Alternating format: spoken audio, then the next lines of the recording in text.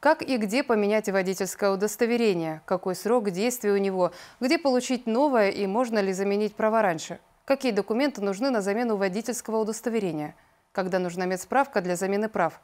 Ответы на эти вопросы узнавала Альбина Ламкова. Водительское удостоверение выдается на 10 лет, а затем меняется. Те, кто постоянно живет в России, могут получить его в любом подразделении ГИБДД. Существует три варианта замены прав. В ГАИ, через МФЦ и на сайте госуслуг. Это самый быстрый и удобный путь. Какие необходимо внести документы? Обязательно к предоставлению является медицинское заключение состояния здоровья, а то есть, другими словами, медсправка водительское удостоверение уже, которое срок действия которого истек, и подать заявочку оплатить госпошлину. Госпошлина по замене получения водительского удостоверения 2000 рублей. Очень удобно в портале его оплатить. Необходимые действия – это ввести номер карты и осуществить оплату. После оплаты госпошлины портал пришлет уведомление с пин-кодом. Без этого номера вы не сможете встать в электронную очередь и пропустите назначенное время.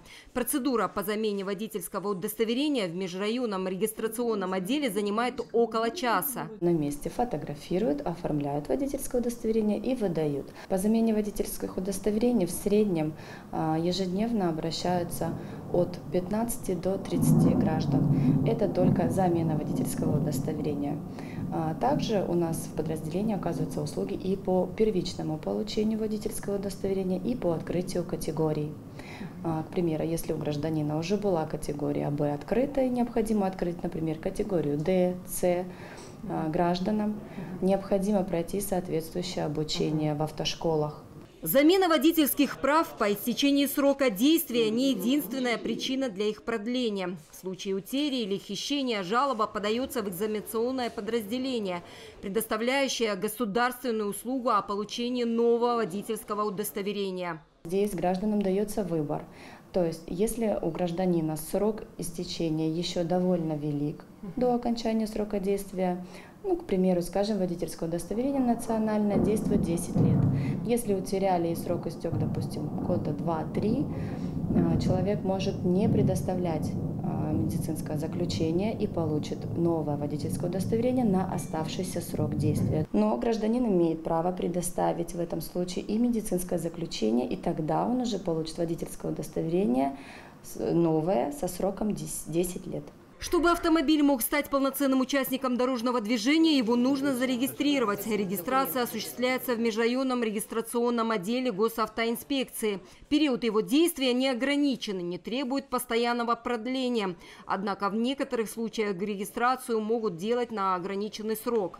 Тоже очень удобно воспользоваться порталом госуслуг, подав заявочку. Портал подсказывает гражданам и в этой сфере порядок действий и необходимый список документов.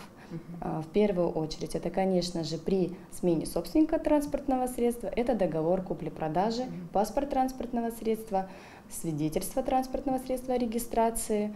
Также необходимыми являются и обязательными предоставлению диагностическая карта и страховой полис.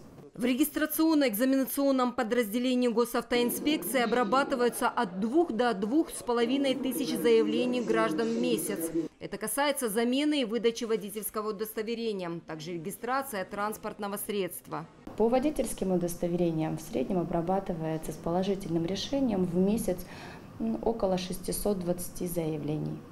Бывают, конечно, и отказы. По регистрации транспортных средств гражданам отказывают в случае, если на транспортном средстве, к примеру, есть ограничения. То есть полный список а, отказов, причин для отказа определен в нормативных документах. Это регламент 950. Водительское удостоверение в межрайонном регистрационном отделе можно получить во вторник, среду, четверг и субботу. Время приема документов осуществляют с 9 до 18 часов. Альбина Ламкова, Расул Бердиев, Вести, Карачаева, Черкесия.